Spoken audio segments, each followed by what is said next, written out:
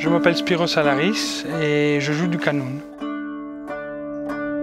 Je viens d'une famille de musiciens. Chez mon père, dans le studio, il y avait un canon euh, euh, sur une étagère, euh, tout neuf, tout brillant, avec des strass sur les chevilles. Et, ça impressionnait un, un gamin de 13-14 ans que j'étais. Et j'ai commencé comme ça, et ensuite au conservatoire à Athènes. Le canon fait partie d'une grande famille de sitar. Euh, le, terme canon euh, est grec ancien. Le mot canon veut dire la, règle. Et euh, c'est Pythagore qui crée un, instrument monocorde sur lequel il, il calcule les intervalles. Et ce nom est repris après pour désigner des instruments polycordes il y a d'autres termes qui coexistent. Le, terme de psalterion, on, le retrouve au, Moyen Âge. Également d'un mot grec, du verbe psal, qui veut dire jouer un instrument à cordes pincées sans, les, sans plectre, avec les doigts.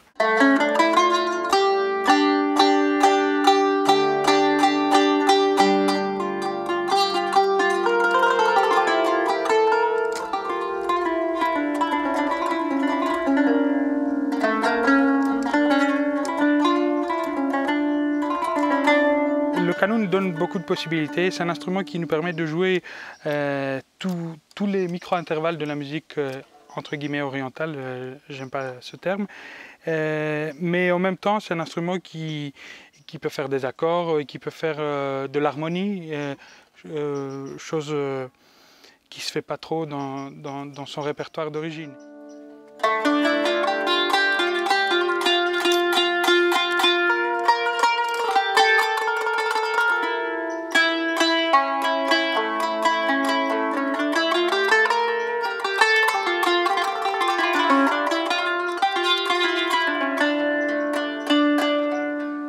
Ici, on a une peau qui sert de résonateur, qui amplifie énormément le son par rapport à d'autres instruments des sitars qui n'ont pas de peau. Et euh, ici, un système de, de crochets. Euh, le principe est le même que sur l'harpe celtique. La différence, c'est qu'ici, on utilise six crochets pour un demi-ton. Par exemple, ceci est un Do.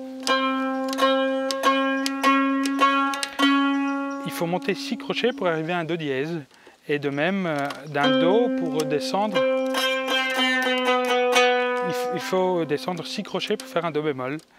Et, ce système-là permet de, euh, de, jouer avec grande précision tous les intervalles euh, de la musique modale, que ce soit grecque, turque, orientale, entre guillemets.